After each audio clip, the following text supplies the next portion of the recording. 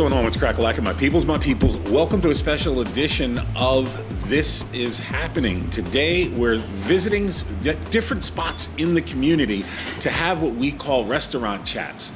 Um, it's my belief that culture is made by culture makers, and that, of course, includes artists, food makers, educators, and many others and everyone has a voice. So it's important we get out in the community and talk to a range of folks how they operate in the world politically, what their art, their life is about. And I'm so happy today that we're starting the series right here in Los Angeles on Jefferson at Revolucionario North African Tacos. So happy to be here with one of the owners, Susan. How you doing? Welcome to the Hi.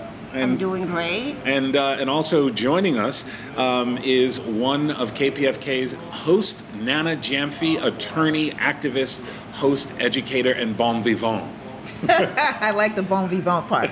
I'm very, very pleased to be here. Thank Thanks you. so much for being Thank here. You. Thank you. Thank you for letting us in your home. Thank It's you. wonderful to meet you. Thank you. So um, we're just going to have a conversation, and uh, um, your your husband, Chef Zadi, is going to um, be bringing out some food at various points, and as we talk, and we'll do that. Um, before we get started the political session, I do want to talk a little bit about the food, just just in terms of tell us about the Taco fixings bar. Can you describe the fullness of that? Our taco toppings are based on North African cuisine and and Northwest Africans. Actually, it's very. It's not just North Africa. North Africa is really part of like Northwest Africa, and um, we wanted to make. We wanted to use the term African because um, you know just Africanness and blackness in general globally is erased. And when people talk about, historians talk about the Moors ruling um, Andalusia for 700 some years, they're always phrased as Arabs, but they're, they're, they were Arabized peoples. Genetically, they were Northwest Africans, and a lot of them were black. And we, we are very proud of that. I mean, it is, it's a global culture. Northwest Africa was like kind of, you know, an international superhighway for so many different influences, and we want to, we want to like, by including Africa, Africa, Africa in the name, we want to pe- people to realize that you know Africa has it, it's not static. I think people think of Af- uh, in the Right. West, people think of Africa as static, like it's nothing has changed in thousands of years. But you know, it's a dynamic, alive culture, and the food culture is alive. And um, globally speaking, there are a lot of influences. Since Northwest Africa influenced Spanish cooking and Spanish agriculture and so many Spanish cultural elements, when the Spaniards and, and you know Southern Mediterranean people set sail for the Americas, they brought that culture with them. So we do have a lot of Latin American customers, Mexican customers in particular, who are aware of that historical bond. That's great. Um, and one of my favorite, I have a couple favorites, but I love the pickled onions and also the pineapple kimchi. Uh, I hate to sound like, you know, some nerd from New York who doesn't understand either Korean or African cooking because I don't, but I know the food that I love, and I love your pineapple kimchi. What are some of the other things that you do that, um, uh, what are the flavors represented in your taco fixings? Well, the, the pineapple kimchi and then the regular kimchi, it's basically just, it's Salvadoran curtido, and then I added pineapple to one of them. They're not even really kimchi, but I know that's what people will like.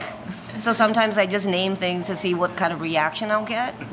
And so people like that, you know, I am of Korean heritage and I'm making kimchi, which isn't even real kimchi, but people will swear up and down that it's real kimchi. So I like to do like kind of my own social experiments with like what has currency or not and what people think is authentic or Right. not. So basically, if, if people read you as an authentic person, they'll think they'll believe that what you do is authentic. And in a way, it is authentic, you know. Let me And then like the onions, escabeche, that's that's something you'll find in a lot of um, Latin American restaurants too, and that is a North African influence in Spanish cooking that was brought over to Latin America. So that's pretty straightforward. And then the other toppings we do, you know, pickled radish, pickled um, carrots. That's very North North Africans pickle a lot too. Right. And then the different sauces we do um, a red harissa.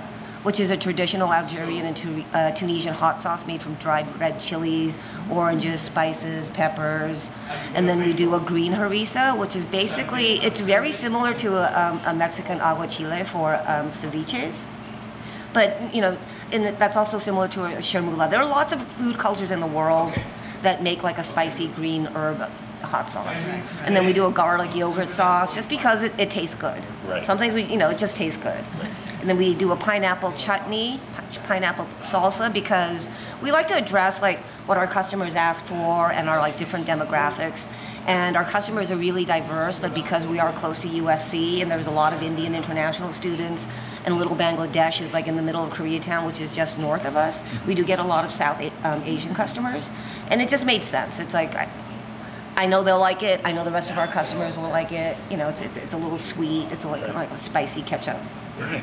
Um, what? Tell us a little bit about how Revolucionario got started. How did you pick this place, and where do you see your location in terms of the the trends of um, of the LA demographics, the diaspora, restaurant culture? Where do you see your uh, your family's restaurant um, fitting into the current LA food and political landscape?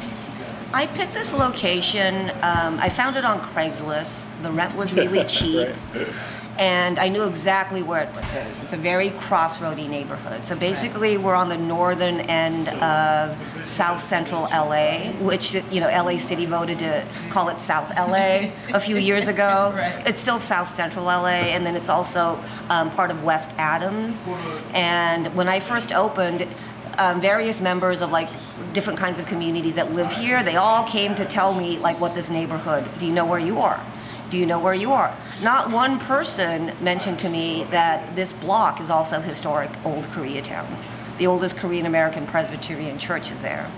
And um, I'm not particularly tied to a Korean customer base. I didn't grow up in Koreatown, so that wasn't like that's not the reason I came here. But it is on the you know the northern end of South Central LA. We wanted to you know bring our North Africanness here, and it's also very crossroady. And we are a mixed family. We're a you know multicultural mixed family. We're polyglots. Um, I'm kind of a half-ass polyglot. Um, and you know this is like the Byzantine quarter, the Greek Byzantine quarter. This uh, we're close to the Salvadoran corridor. Um, Well, and your husband, uh, Chef Zadi, is uh, uh, French Algerian, uh, yeah, and he was born in France, and his parents are Algerian Berbers, and Berbers are the indigenous people of North Africa. Right. And like the whole entire northern cap from Egypt to Morocco, and then like the, the, the southern part underneath, they, they influence all of that. And he actually did have a DNA test done, and it's basically the one third of North of Africa, a top half. Wow. Yeah, so, so his like DNA is a story of where Berbers were. so I didn't mean to interrupt Okay. your flow about the, the neighborhood. Oh, so the neighborhood, yeah, and then there's, um, you know, we get a lot of support from Jewish customers too, halal food, and I hear that from a lot of halal restaurant owners, and you know, we're like close to mid city, and so I just, I just felt like everybody would come here, and everybody did. Right. And it's a very, very sleepy stretch of Jefferson. There's no foot traffic. So we have to constantly market. We have we've been here for almost three years. We have no signs on the outside of the building. We have no visibility. oh so my it's just God, you're, you're good- the coolest of the cool. just like just like goodwill and word of mouth and you know then it's, it's, a, it's a little bit of a struggle at times because we just have to constantly talk about ourselves and so do our customers you know. um, what do you see as some of the challenges um, of living and working in this community? What are some Uh, of the challenges the community faces in addition to what you face? i think mm, really you know this community we're fine on our own the big threat really is gentrification and um, that all started when when I, you know enrollment at higher education was just peaking and peaking and growing and growing because of millennials um, and USC didn't didn't have enough student housing, so student housing started bleeding over into like this neighborhood, this part, you know, further um, west of USC. And so a lot of single family homes were sold and they were converted to like student housing. Now, last fall, USC um, added uh, 35% more student housing. So they solved the student housing crisis. But what gentrifiers and developers don't utilize in their algorithms is that information isn't available in their algorithms yet. So they're late to the game in trying to buy up this block for student housing. They're just late. But they don't care because they're playing with synthetic, fictitious, elastic capital. They don't care. And so that's like the biggest threat gentrification and that's it's displacing families. It's it's starting to displace my business. Um, a developer was planning on buying it, and he wanted to raise my rent uh, double without adding any amenities. So basically, as a woman of color, you know, I'm not Hispanic, I'm not black, but I, I still am a woman of color in the sense that I'm not white either. So I don't benefit from um, gentrification in the same way white people do. And I, I get pushed around and about. So another person's buying this building. He does want to raise my rent. He doesn't want to raise, you know, but he's going to upgrade and and um, give us more amenities for raising our rent. And his rent increase isn't nearly as much. But what gentrification does, you know, it's it's just going to be. I have to make for every thousand dollars that my rent goes up. I have to make. I have to do five thousand more in sales just to cover that. It's not from a you know landlord's point of view. They think it's just a thousand dollars. It's not. It's a lot. So if you take a family of five, let's say four working adults, and they, they rent a house here, um, and, and the rent is raised by $500, that's $500 they may not even have, so they can be evicted. And that's the biggest threat, gentrification. Um, Nana, you are a, a community uh, activist, you're an attorney, you're deeply connected to many of the, um, the struggles of working class folks um, throughout Los Angeles. Uh, in terms of what Susan has shared with us uh, about um, what she sees as the effects of gentrification, how does that align, or does it align with your view from where you're sitting as an, as an attorney, activist, and radio um, host?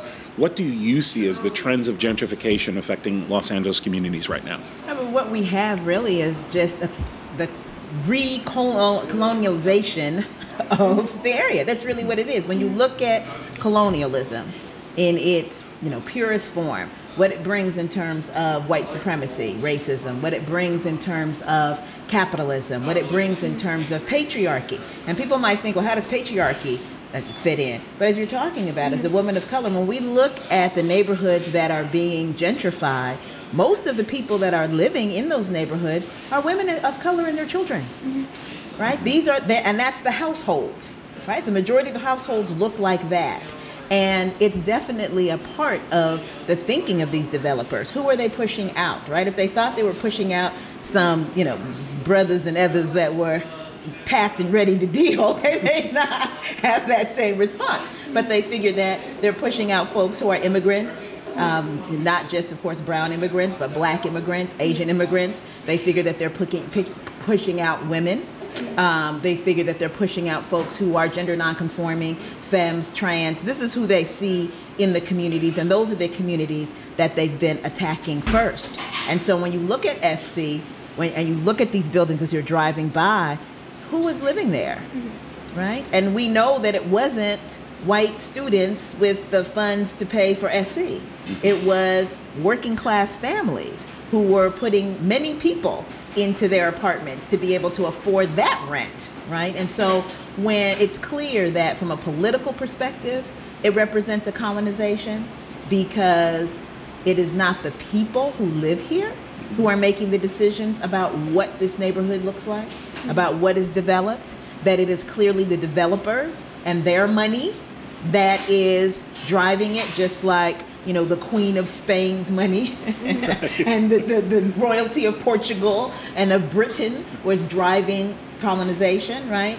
And then economically, we see that they look at our neighborhoods as just resource, and in particular land, uh-huh. right? And land is always the greatest resource, as our brother El Haj Malik El Shabazz, Malcolm X, can, you know, taught us. And so they look at the land aspect, they look at the labor aspect, mm-hmm. right, in terms of us as people who can work on the properties or in the properties mm-hmm. or buy stuff, right, and be consumers once they take those properties over. Mm-hmm. And then we look at the cultural shift, right, which colonization also is a lot about the culture. What does it mean to live in a neighborhood? What's a good neighborhood? What's a safe neighborhood, right, as defined by them? Mm-hmm. So safety becomes what causes Stephon Clark to be murdered, right? Stacy becomes mm-hmm. what is it, next door neighbor, whatever that little yeah, that, app where, is or yeah. whatever, where they say I saw oh, somebody suspicious, right? You know, oh, there's this man selling. It's called uh, Sketchy Blacks. Yeah, you know, that's what that's what the app should be called because exactly. that's effectively and sketchy racist, sketchy getting, blacks. Exactly, people end up getting murdered in their own backyard, mm-hmm. right? But that that's how this is happening. I think I shared with you once, Jerry, that I had to stop the police from harassing a brother who was literally running for the bus mm-hmm. because a young white man was standing at the bus stop and he just knew that that brother was running towards him in order to harm him in some way. And the police actually stopped and entertained this foolishness. Like I had to tell the cop, come on, the brother's running for the bus. And I had to tell the, the white guy, Mm-hmm. you realize that you're on Crenshaw. This is a Crenshaw Coliseum. You're on Crenshaw. You're going to see black people running for the bus. So if that's going to frighten you, you need to Yeah. not live here because you make us unsafe. And that is a, a piece that I think we really need to get across to the um, young white folks who are coming into the, our neighborhoods that you are making us unsafe. Mortally so. Yes. You know, we risk death because of your presence. You are impoverishing us. Right? We lose because of income because of your presence. And you are uh, uh, disenfranchising us. Because when you come in and we get pushed out, then how do we get our representatives in office? How do we begin to be represented on the political sphere? We can't.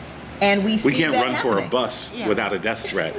How can we overcome the Yeah. the entrenched power of the politics of white supremacy while folks that are benefiting from it are sometimes wholly unaware of their impact. And they're just following the rules right? Oh i'm a nice white guy. I'm a nice person. I i moved to this neighborhood and i like it but i'm really shook if i see a black guy running for the bus. Yeah. and not realizing the disconnect between that reaction and the danger you pose to the neighborhood. Like it, and the only people who can not appreciate that reaction Mm-hmm. Are people who haven't paid the cost of white supremacy because Right. anyone who's paid that cost knows No. exactly what Right. that danger is Right. And to expand on your colonialization motif, I mean, it's very deliberate, okay? Mm-hmm. This is how white people move into neighborhoods like this. They p- typically start buying up a block. And they make sure they buy up a block, and it's all with real estate agents too. And they make sure to buy up a block that can be turned into a historic overlay zone. And then they start, you know, pressuring um, other uh, um, homeowners on the block to sell. You're going to get a lot of money. You're going to get a lot of money. You can still move. And they create their little island space. And then if you look at the mixed-use commercial um, residential developments that are that are going to be built near Crenshaw or whatever, you know, it's close to public transportation. Right. And also they're telling you, you know, come and live in an island space. So not only are you like, you know, it, it's it's they set up the conditions where they're going to be embattled against the neighborhood. Right. Take resources from the neighborhood, but not shop in the neighborhood. They're not going to go to the neighborhood hair salon. They're not going Right. to go to the neighborhood barber shop. Right.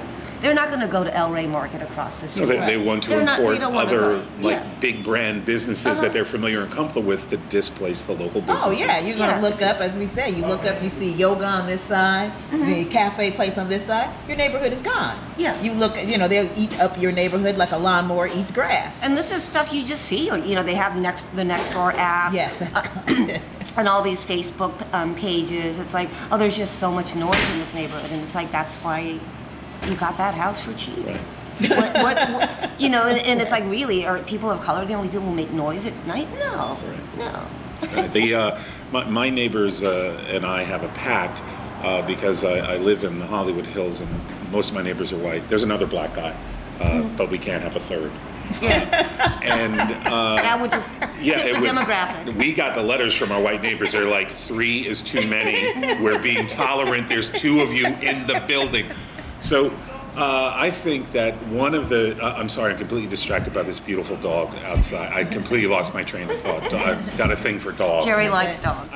This dog. So um, I think that one of the one of the things that happens is that people not only don't recognize the displacement that they're doing, but they bring their vision of what their new neighborhood should be with them. Yes. And you can point to, you know, there's thousands of hideous examples, and some of the more uh, persistent ones that became viral. I remember uh, the story of this woman in uh, Prospect Park in Brooklyn, just about three, four years ago. And uh, there's uh, these uh, vendors that sell uh, usually or frequently, um, that it, traditionally and historically, um, Puerto Rican uh, men. They tend to be older and they sell piraguas, uh, these ices, and they're flavored. Kids love it, whatever. And you know, back in the day, they used to also have rum for the adults. so, New York in the '70s. so right, exactly. So uh, oh no, right, it, it's hey, he right. put it in there himself. It was great. Come on. You had a concert in the park. You have your drink. It was yeah. The seventies were great when you were ten and drinking rum in the park. So, uh, in any event, this woman, this new young homeowner is there with her three-year-old. The three-year-old wants piraguas and is mm-hmm. saying, "Oh well, give me." The mom says no. The kid has a complete meltdown and I want the.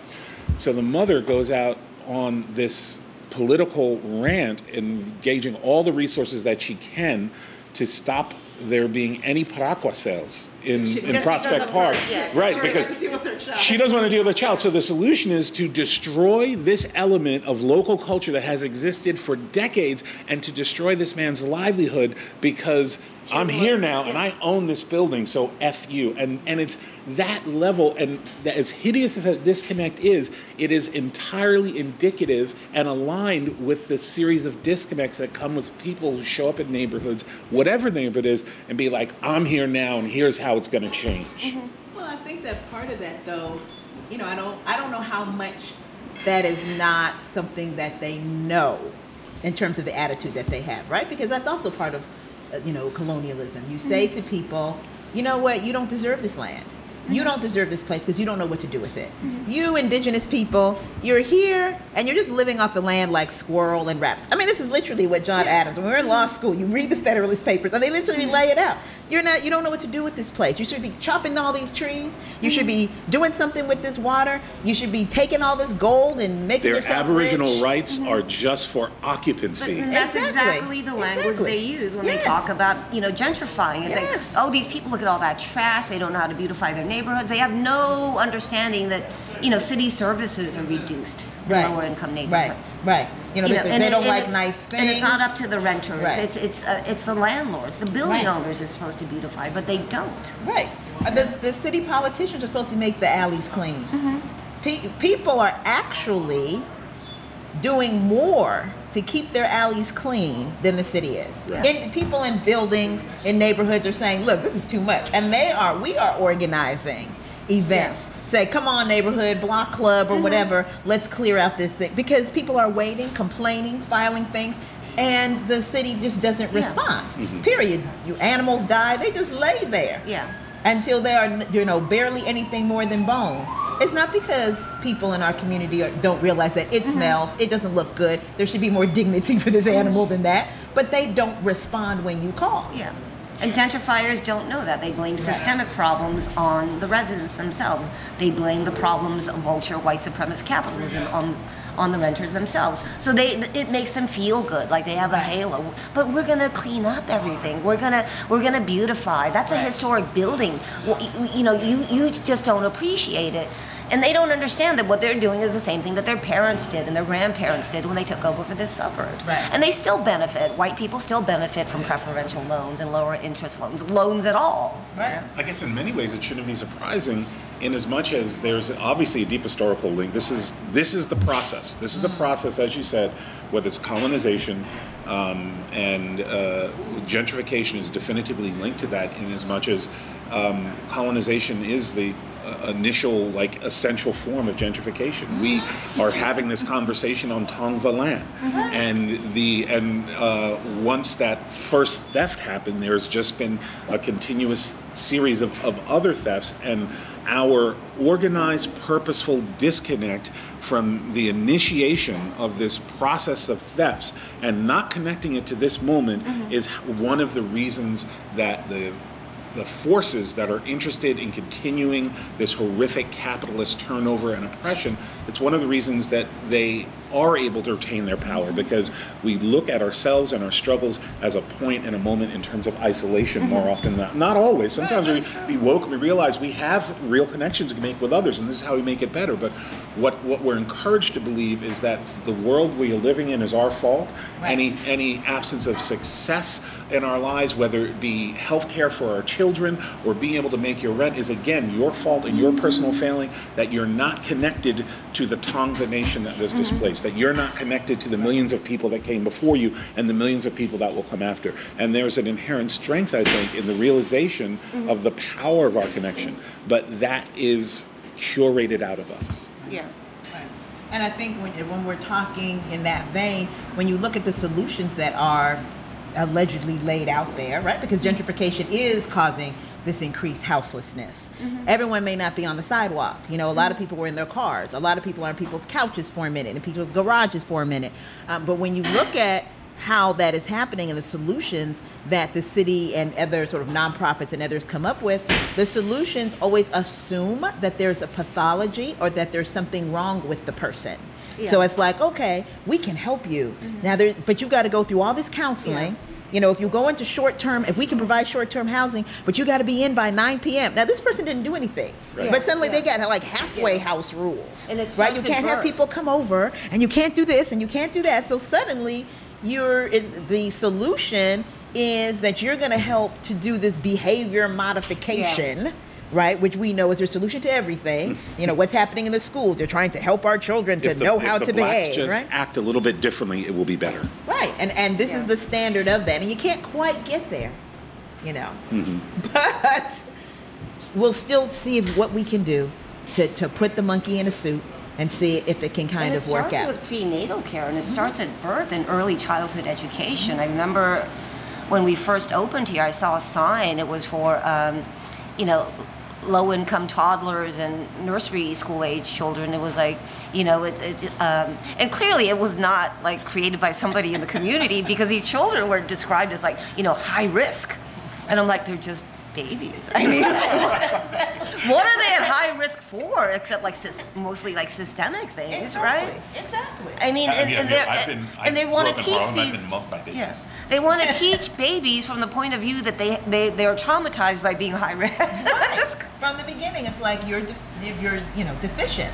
Yeah. And that again gives the idea to folks that these neighborhoods are being improved and gives uh, a space or a platform for our own people to say that. Yeah. Right? And because that's where the class issue comes in, right? Mm-hmm. For people to say, black people who have man who are one step, I always tell them, you're one step away from South Central and you're other step away from Mississippi. Do you know what I mean? Like literally mm-hmm. one step away from each. One foot in Mississippi. And some of you, you don't even got the Mississippi. You just one step from Africa, right? Um, but this idea that you can now, because you've moved into this other place, look your nose down.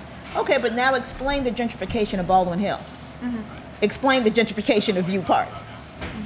Those neighborhoods look fabulous. And Leimert. Those Montebello, and Leimert. Those and neighborhoods look clean. Those neighborhoods look mm-hmm. right. So so what's the problem there? Right? You can't use the same type of pathological descriptions of black folks and other folks of color in the hood uh, when you're describing their situation, and yet the gentrification is still happening. So it clearly has nothing to do with the fault or the deficiencies of folks in terms of economics, etc. And clearly it's just based upon the typical issues that colonialism placed upon race, economics, uh, gender, and how those define power. Right. One of the things that I really love about living in Los Angeles is that in addition to this kind of petri dish that we live in in terms of structured oppression and structural oppression that we're trying to transit through and get on with our lives and embrace the good things that we like um, in addition to all that that struggle, that necessary struggle that I'm happy to engage in, there's a tremendous amount of beauty in Los Angeles, and there's a tremendous amount of cultural beauty in Los Angeles, and uh, and some of that cultural beauty um, comes from spaces that like you have built and created with your family, like this space here. Um, I know that uh, when uh, uh, Susan doesn't like talking about it, she won't mention it, but I will. Uh, when they first opened, they uh, um, they had this uh, pay it forward jar instead of tipping their staff. They would people would just put this money in a pay it forward jar, and on Mondays they would have a community meal for folks in the community who who may not be able to afford to eat here otherwise. And um, it you know it was uh, um, had its challenges because there's mental health issues in the community, et cetera. But the fact that restaurateurs um, move their small business into community and are thoughtful enough and caring enough about the community to make a space for and try to find creative ways to connect with the community because it, it's typically what people do is just throw their hands up and say, "Oh well, I can't be involved with that. I'm just here to, you know, Yeah. push the, In a this missionary masa." type of way, Yeah, right? yeah. That looking down type of way, like we're going to bring you to Jesus. Yeah, yeah. right. We don't do any of that. It's just, Exactly. here's your food. You know, you get utensils, a napkin, a bottle of cold water. Some people ask for a soda. That's fine. I, I'm not going to say no sugar for you. You know I mean? Sometimes people need sugar. That's fine. Well, why did you? Why was that an important element of y'all opening this restaurant, and why is it why is it an important element to you? Why do you think it's your responsibility to feed a, people that can't afford food? It's a cultural component of you know heritage for both myself and my husband. You know, like North African Berbers, if somebody's hungry, you invite them into your home. Mm-hmm. And there's a strong Buddhist um, influence in Korean culture. Mm-hmm. My parents always said, if somebody's hungry, you have to feed them. It is, you know, it, it is your imperative to feed them. You have food, you have to feed them. Mm-hmm. So that's and and that's it. And then you know, and then I when once we started doing it, we realized we are making a larger point. You know, we we, we don't th- you know they're just because somebody's homeless doesn't mean they are not a member of this community. They are still of this community. We have no desire to call the police on people. You know, homelessness is not a crime. Poverty is not a crime. Somebody who's victimized by the system since they were even born, before they were even born, that's not a criminal. So we don't want to do anything like that. And then in just welcoming people inside and say, here's food. You can come back anytime. Come back anytime you're hungry. Is, you know, it, it the onus is on us too. We have personal mm-hmm. responsibility to help each other. Right. And I was going to say, you know, about culture makers and, and you know, cross fertilizations. You know, my parents are in their 70s. When they came to America, they were not having conversations like this. You know, they always taught us that, you know, to be- believe in equality and things like that. But, you know, you know, re- relationships between people of color in Los Angeles or in America were not like evolved to that point. You know, they, they happened in like political spheres, like Right. you know, Yellow Peril and the Black Right. Panthers talk, Right, but not in everyday spaces. My generation, you know, I went to school in America, so it was just we had conversations like this. I think my daughter's generation, she's Generation Z, 19, second year of college, they're much more further along. So when I see the protests compared to 1992, when people protest in, in South Central LA, and I participated in one, it's a mixed group Right. protesting together. Right, right, right, right. So, you know, people of color too. There, we do have elements among us that are, you know, that, that can turn the other way.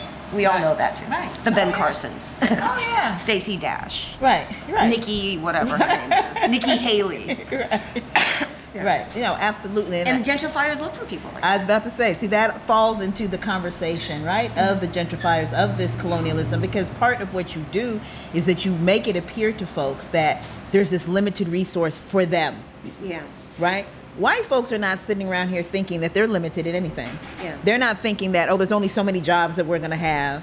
There's only so much land that we're going to have. Generally speaking, we know that we Yeah, have know those exactly those other about. folks, Yeah. right? That that are clear on the fact that they're being overrun and they want to do something about it, right? But generally, they don't have these conversations where they're like, "Oh my gosh, you know, we're going to run out of jobs. We're going to run out of space. We're going to run out because they figure they just take it away from us, Yeah. right? And just instill in us that you, if the if the Koreans are on this block, that means you can't be on this block. So now you got to fight like hell to keep the Koreans off this block Right. Mm-hmm.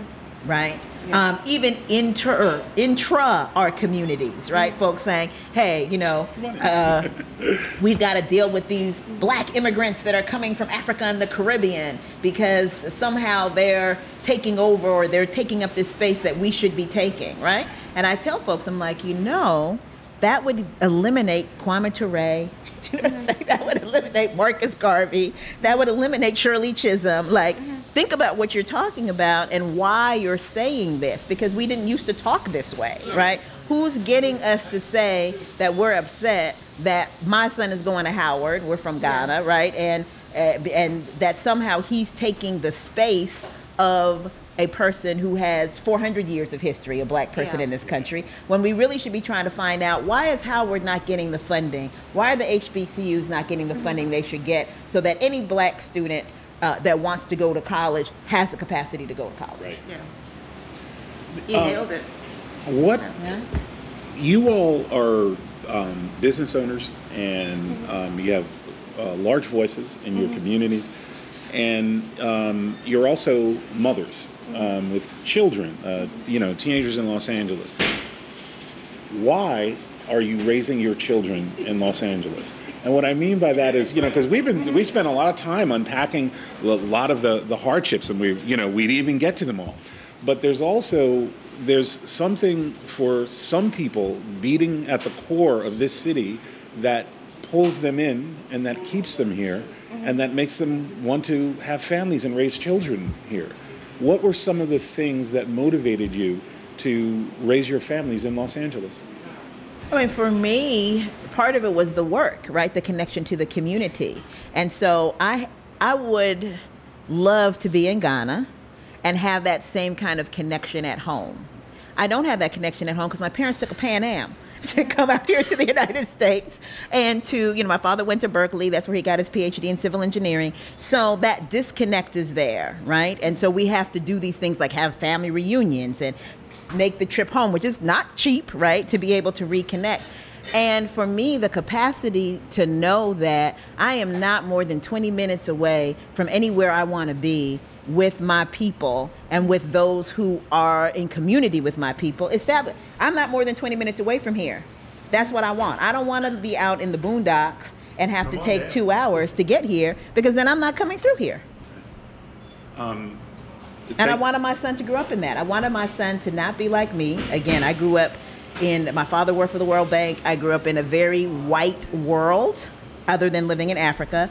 And I didn't want my son to grow up in that world where you're the weirdo and you're strange and people are making comments about how your skirt fits on you, you know, your kilt, and people are making comments about your hair. I wanted him to be in a place where he was supported, where he is loved, where he is treated with respect, where people and uh, you know let him know that he has value, and that happens in this community. Mm-hmm. And this community means South Central. South Central, yeah, that happens in South Central. What were some of the, the your thought? I mean, I know sometimes people don't plan. You know, like, oh, I'm going to raise a family. We'll be in this state at this location. But Right. what were what made you embrace staying in Los Angeles to raise a family and have children? Well, like Nana, um, my parents made that choice for me when I was five. They flew me over on a on Korean Air, Boeing 747. So I grew up in LA, and I've traveled quite a bit, not just internationally but domestically. And I like LA, and, and I raised my kids in different neighborhoods in LA, but it was just never the right mix. And finally, we decided to just move to South Central LA, and I like the mix here because um, it, it addresses you know all the heritages that my um, kids have. And my daughter likes it that she meets people on a regular basis on a daily basis who will identify her as blasian or afro-asian. They just look at her and they know. Right. Whereas like in other neighborhoods it's like most of the time it's like what are you? I have no idea.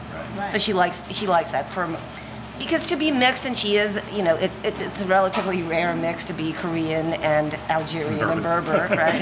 It's a rel- and just to be around people who like I see you I recognize you It's a, is a big deal to my daughter. And then just being like 20 minutes away from all of my friends. Mm-hmm. Because this is very crossroady. I think you know South Central LA is is like really in the media. If if I read one more print article about you know drive-throughs and drive-bys. Right, they all mention this. Like, have you ever been here? You Right. know, but we, we, we're tw- 20 minutes away from the rest of LA. Right. Everything I mean, is so literally close. The beach. Right. Yeah, I can get a car and I can go and you know go to a beach and be there in 20 minutes. People Hop come to visit Mine. and they're like, "Re- yeah. People are like, really, right? Um, trans public transportation. Whereas other places are getting a bus that comes through just in the morning and the afternoon because it's really just for the people that come clean mm-hmm. and work. Man, we got you go on Crenshaw. There's like seven lines. You know what I mean? There's a, like we have access, whether it be public transportation, whether it be your own transportation, to be able to connect up with everything we want to connect up Right. with. Mm-hmm. Um, I think now's a good time to mm, start I know, I'm- talking about the food and getting Should into I the step food. away and bring Farid over here? Um, yeah, Okay. please, thank you. And, and any type of fruited sweet water is lovely. and now we're about to uh, dig into this amazing food, uh, these uh, North African tacos here at Revolucionario. Chef's Zadi, uh, Hey, hello everyone. Ooh, that looks wow. good. That looks good. This looks So Jerry, amazing. just for you, we got a little taste of North Africa. Okay? Ah, That's where we are today. Ah, Merguez, he knows, he knows, he knows we what I also in love. Ghana now. Okay, all right. Just making sure. Te- tell us about the food, Chef. Please. Okay, so um, Black Happy Falafel, it's a bit of a mix between the Middle East and the North Africa because I'm the one who give it uh, the na- North African twist by putting uh, the spice mixture from North Africa. Okay. Pretty much all of those dishes have somehow that spice mixture. Okay. We have the chickpea tagine, we have the chakchuka, which belong uh, to North Africa. We have the the merguez, which are the beef and lamb uh, sausage. They do have a Spicy beef little lamb. kick. And then we have the um, cilantro yogurt. Uh, no, sorry, the the preserved uh, lemon and olive uh, chicken tagine. We have the cauliflower here. Again, they just fry little seasoning, little uh, ras el hanout on top, and then the lentil and the butternut squash tagine. Great. Oh That man. all looks We're, I'm just gonna absolutely we're, delicious. we're gonna start digging. I'm gonna get some Go taco for it. fixins and we're gonna go. Yeah, for it. we have some sauces like the red harissa. I'll bring it to you. All right, thank like you. uh, people don't know how lucky we are to have um, a chef as talented as Chef Zadi bringing all of his talent and focusing it on affordable food. It's amazing. So the pineapple and the yogurt will go great with the with the black happy. The chachika can be eaten on its own. Uh, maybe a little green iris on the chicken, but it's up to you. Yeah. Uh, I'm just gonna keep eating while we. I'm sorry. Oh, yes, of course. of course. I'm not, I'm not trying to, to stop your flow, my brother. Keeps it real. Exactly. Only fake men ignore their tacos.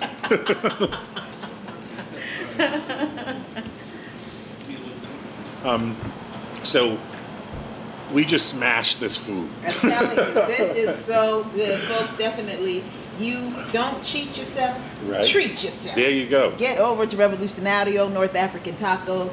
I, I'm telling you, I was remarking, even if you're vegan, these these things are so big. Right. These Two of these tacos, vegan tacos, tacos, um, the fried uh, fried cauliflower. That is delicious. The black eyed pea falafels. Absolutely um, fabulous. The uh, smoked duck, the barbacoa, the the the, the lamb. I mean, it's just The you know, sausages they make themselves right. here. The merguez, they make these, especially French sausages, merguez sausages you can't get anywhere else. They have to make them here because they can't find them in America, but they're right here at Revolucionario. All right, Delicious. And they were delicious.